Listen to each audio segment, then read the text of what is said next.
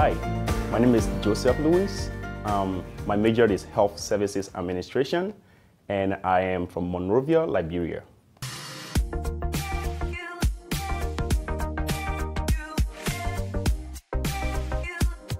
Um, the best thing about MSUM for me is how diverse the student population is. I get to meet students from everywhere around the world, so which is pretty cool to me.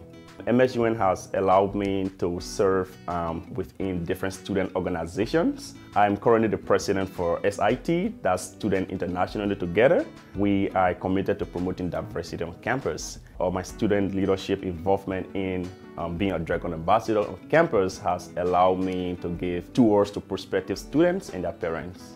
A lot of faculty members that have impacted me at MSUM. One in particular is my academic advisor, Jitendra Sen.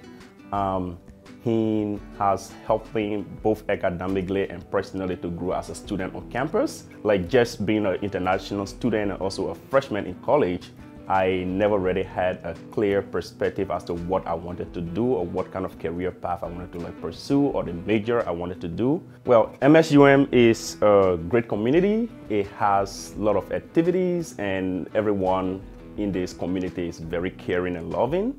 Get out of your comfort zone, get to people, meet new people, and have fun with college.